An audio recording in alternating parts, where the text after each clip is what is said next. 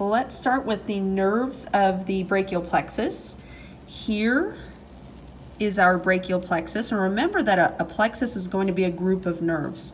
So we have a bundle right here, and then if we were to follow one of these onward, those would become individual nerves.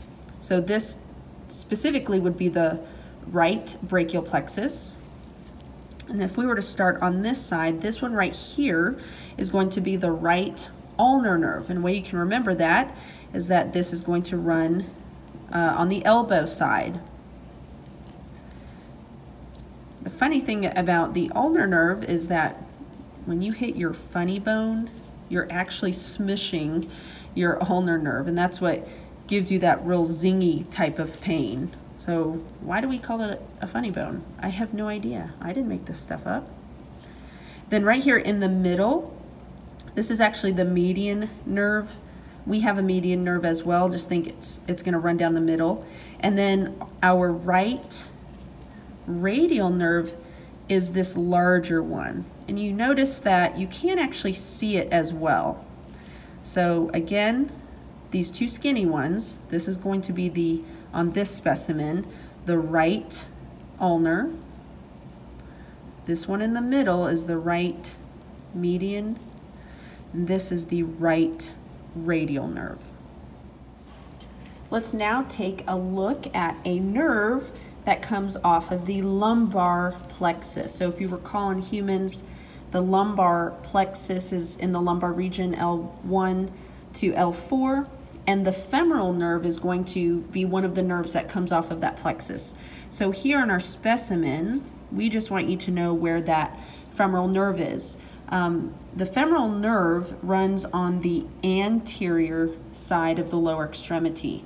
So whether you're looking at a picture or a model of a human, you need to look on the anterior side. That's the best view for that. And on our cat specimen here, this is that femoral nerve. One way we know that it's the femoral nerve is it's running in the region of the thigh, what we would call the thigh on the human, and then it's really close to that femoral artery. Okay, so your knowledge of the anatomical regions serves you really well here. So again, on this specimen, we're looking at the left femoral nerve. Now let's take a look at uh, the major nerve that comes off of the sacral plexus. And remember, the sacral plexus on a human is going to be inferior to the lumbar plexus. It'll be um, around levels L4 to S4. And the major nerve that comes off of the sacral plexus is the sciatic nerve. And so I flipped our kitty cat over. This is the caudal uh, caudal end, and this very large nerve right here is that sciatic nerve. So for human models or pictures, you're going to want to look for the sciatic nerve on the posterior side of the lower extremity. This is posterior for a cat as well because remember on all fours it's on the back side.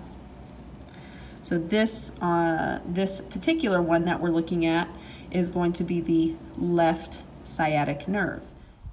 Want to stay up to date on my latest videos? Please hit like and subscribe. And don't forget to check my Instagram page at The Anatomy Gal. See you next time.